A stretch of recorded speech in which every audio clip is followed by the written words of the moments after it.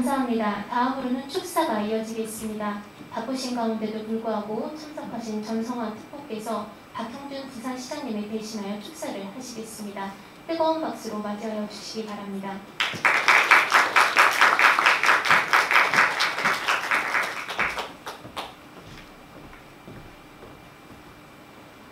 아, 반갑습니다. 오늘 이 자리에 함께 할 수 있어가지고 너무나 영광이고요. 오늘 시장님께서 국제영화제 관련해서 어, 해외 에서 방문하는 여러 이제 중요한 일정이 있어서 이게 3시 반에 끝나는 바람에 정말 꼭 참석하고 싶었지만 어, 못 오게 되신 점 진심으로 어, 죄송한 말씀 전달해달라고 저한테 부탁하셨습니다. 그리고 어, 지금 이 것을 기회로 어, 부산과 그리고 다양한 아랍권 그리고 페르시아과의 교류를 약속하셨습니다. Uh, good afternoon, ladies and gentlemen. Uh, I'm here to, on behalf of the Hyungjun Park, the mayor of Busan City, and he send you the best regards, and you enjoy the best city of the Busan and like your time here, and also the, it is very special honor to have you here. 이제부터는 그 박영준 시장님의 축사를 전달할 수 있도록 하겠습니다. 안녕하십니까. 부산광역시장 박형준입니다. 2021 한글, 아랍어, 페르시아어, 캘리그라피 교류 전시회 개최를 진심으로 축하드립니다. 아름답고 개성 있는 손글씨를 뜻하는 캘리그라피는 문자를 활용한 디자인에서 벗어나 문화와 예술의 한 갈래로 자리매김했습니다. 더구나 이번 캘리그라피 교류 전시회는 575돌 한글날을 기념하는 행사라 더욱 의미가 높습니다.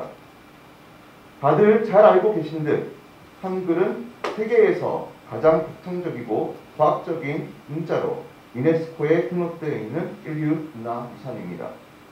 쓰기 쉽고 읽기 쉽고 표현하기 쉬운 우리 한글은 세계를 호령하는 현지의 근간이 되었습니다. 찬란한 중동의 문명도 아랍어와 페르시아어가 있기에 가능한 것이었습니다. 이렇듯 문자는 소통의 가장 중요한 수단인 동시에 문화 매개체입니다. 이번 전시회가 우리 부산과 중앙아시아가 서로 더 잘 이해하는 계기가 되기를 기원합니다. 우리 부산은 또한 인류 문명 발전의 중요한 전환점이 될 2030 부산 세계 동남에 위치해 힘을 쏟고 있습니다. 특히 아랍에미리트 두바이 엑스포 한국관에 부산 전시관을 열어 홍보에 총력을 다하고 있습니다. 중앙아시아 두바이의 그 뜨거운 열기를 동아시아 부산으로 가져올 수 있도록 2030 세계 박람회 부산 유치에 많은 관심과 지지, 응원 부탁드립니다.